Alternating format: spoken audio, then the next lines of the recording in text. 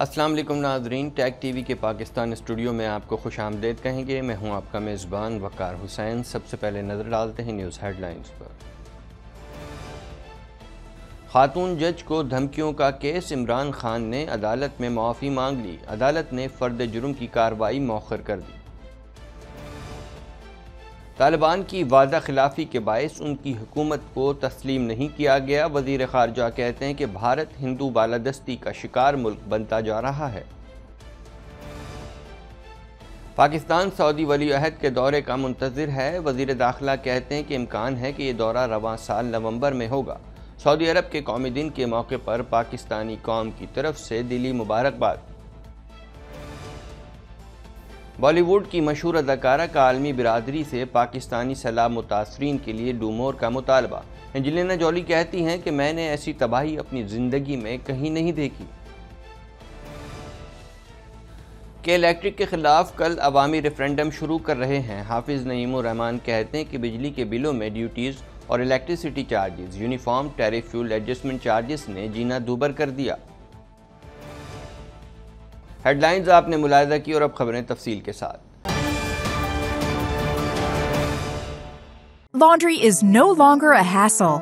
Just toss an EcoFresh detergent strip into the washer for a convenient, eco-friendly yet powerful wash. Hypoallergenic, safe for sensitive skin. Say no to bulky plastic jugs and bottles. No more measuring and spilling. Just one strip for a load. Simple and squeaky clean. Plastic-free, biodegradable packaging. Organic, paraben, phosphate, dioxane, and cruelty-free. Order now at www.ecofreshcanada.ca or at Amazon. Chief justice Atarminullah ने remarks दिए हैं कि आपका बयान record करते हैं फ़र्द जुर्म आयद नहीं करते। आपने अपने बयान की संगीनी को समझा हम इसको सराहते हैं। आप तहरीरी हलफनामा जमा कराएँ बयान हल्फी दाखिल करें फिर अदालत जायज़ा लेगी। इस हवाले से मज़ीद जानते हैं। खातून जज को धमकी देने से मुतालिक तोहन अदालत केस में चेयरमैन तहरीक इंसाफ इमरान खान ने इस्लामाबाद हाई कोर्ट में माफ़ी मांग। ली चेयरमैन तहरीक इंसाफ इमरान खान, शाह महमूद कुरैशी, शिबली फराज और इमरान खान के वकील हामिद खान इस्लामाबाद हाई कोर्ट पहुँचे। इस मौके पर सिक्योरिटी के इंतहाई सख्त इंतज़ाम किए गए थे और किसी भी गैर मुतल शख्स को अहाता अदालत में जाने की इजाज़त नहीं थी। इमरान खान ने अदालत में मौकफ इख्तियार किया कि अगर कोई रेड लाइन क्रॉस की है तो उस पर माफ़ी माँगता हूँ। अगर अदालत कुछ और चाहे तो वो भी करने को तैयार हूँ। चीफ जस्टिस अथर मिनुल्ला ने कहा कि आपका बयान रिकॉर्ड करते हैं पर्दे जुर्म आयद नहीं करते। आपने अपने बयान की संगीनी को समझा, हम इसको सराहते हैं। आप तहरीरी हलफनामा जमा कराएँ, बयान हल्फी दाखिल करें, फिर अदालत जायजा लेगी। वज़ीर खारजा बिलावल भुट्टो जरदारी ने कहा है कि आज का भारत बदल चुका है, वो अब सेकुलर भारत नहीं रहा। इसकी कीमत मुसलमान और मसीही अकलीत अदा कर रही हैं। तालिबान की जानब से लड़कियों को सेकेंडरी स्कूल जाने की इजाज़त ना देने पर दुख हुआ। मजीद जानेंगे इस रिपोर्ट में। वज़ीर खारजा बिलावल भुट्टो जरदारी का कहना है कि तालिबान ने आलमी बिरादरी से किए वादे पूरे नहीं किए। गैर मुल्की नशरियाती इदारे को इंटरव्यू में वज़ीर खारजा बिलावल भुट्टो जरदारी ने कहा कि तालिबान ने आलमी बिरादरी से किए गए वादे पूरे नहीं किए।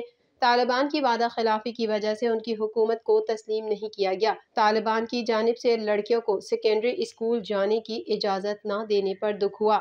वज़ीर खारजा का मजीद कहना था कि आज का भारत बदल चुका है। वो अब सेकुलर भारत नहीं रहा। भारत अब हिंदू बालादस्ती का शिकार मुल्क बनता जा रहा है और उसकी कीमत मुसलमान और मसीही अकलियत अदा कर रही है। वज़ीर खारजा बिलावल भुट्टो जरदारी ने कहा कि पाकिस्तान में सैलाब से एक हज़ार पाँच सौ से जायद अमवात हुई हैं।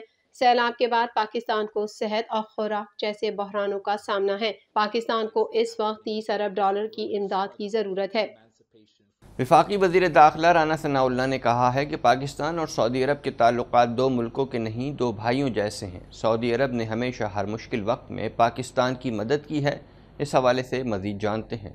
विफाकी दारकूमत इस्लामाबाद के एक शॉपिंग मॉल में सऊदी अरब के कौमी दिन के हवाले से लोक दास्तानों और सकाफती रक्स की तकरीब से खिताब करते हुए वज़ीर दाखिला राना सनाउल्ला ने कहा कि सऊदी अरब हर मुश्किल वक्त में पाकिस्तान के साथ खड़ा रहा है। जिस पर हम शाह सलमान और वली अहद शहजादा मोहम्मद सलमान के शुक्रगुजार हैं। राना सनाउल्ला का कहना था कि पाकिस्तान और सऊदी अरब की दोस्ती दुनिया भर में बेहतरीन ताल्लुकात की एक मिसाल है। सऊदी अरब पाकिस्तानियों के लिए मकाम मुक़दस का दर्जा रखता है, क्योंकि वहाँ मकामात मुक़दसा मक्का और मदीना मौजूद हैं। उनका कहना था कि पाकिस्तानी कौम सऊदी अरब, सऊदी कौम और खादमीन हरमैन शरफैन से ख़ास मोहब्बत और अकीदत रखती है। उन्होंने सऊदी सफ़ीर नवाब सईदुल मालिकी को पाकिस्तान का बेहतरीन दोस्त करार देते हुए कहा कि उनकी मौजूदगी में दोनों ममालिक की दोस्ती बुलंदी की नई सतह को छू रही है। वज़ीर दाखिला ने हज के मौके पर सऊदी अरब की बेहतरीन मेज़बानी पर शुक्रिया अदा करते हुए कहा कि उनकी वजारत रोड टू मक्का प्रोजेक्ट को पाकिस्तान के दूसरे शहरों तक फैलाने के लिए पूरी कोशिश कर रही है। उनका कहना था कि तकरीबन 20 लाख पाकिस्तानी अपने ख़ानदान और मुल्क के लिए सऊदी अरब में काम करते हैं और बड़ी रकम मुल्क को भेजते हैं, जिसका मीशत में बहुत हिस्सा है। पाकिस्तान और सऊदी अरेबिया की जो दोस्ती है, ये एक मिसाल है। पूरी दुनिया में दो मुसलमान ममालक के दरमियान जो है वो तल्लक सऊदी अरब हमारे लिए एक होली लैंड का दर्जा रखती है। क्योंकि खाना काबा और मदीना मनवरा और हज़रत मोहम्मद सल्लल्लाहु हमारा ईमान, हमारी अकीदत, हमारी मोहब्बत उन शहरों से है, उस मुल्क से है और उस कौम से है। इस मौके पर सऊदी सकाफती वफ ने रिवायती रक्स का मुजाहरा किया, जिसमें राना सनाउल्ला भी शरीक हुए। अकवा मुतहदा के इदारा बरए पना गुजीन की सफ़ीर हॉलीवुड की मशहूर अदाकारा एंजलिना जूली ने कहा है कि पाकिस्तान में जो सूरत हाल है, दुनिया को इस पर जागना चाहिए। आने वाले हफ्तों में भरपूर मदद ना पहुँची तो बचने वाले भी नहीं बचेंगे। मजीद जानेंगे इस रिपोर्ट में। अकवा मुतहदा के इदारा बरए पनाह गुजीन की सफ़ीर और हॉलीवुड की मशहूर अदाकारा एंजलिना जूली ने आलमी बरदरी से पाकिस्तानी सैलाब मुतासरीन की मदद के लिए डू मोर का मुतालबा कर दिया। उन्होंने national flood response coordination centre का दौरा किया और कहा कि पाकिस्तान में जो सूरत हाल है, दुनिया को उस पर जागना चाहिए। ये बहुत सारे लोगों की ज़िंदगी और मौत का मसला है। एंजलिना जूली ने सैलाब से होने वाली तबाही आवामी शिकायत और पाक फौज के रिलीफ ऑपरेशन का मुशाह किया।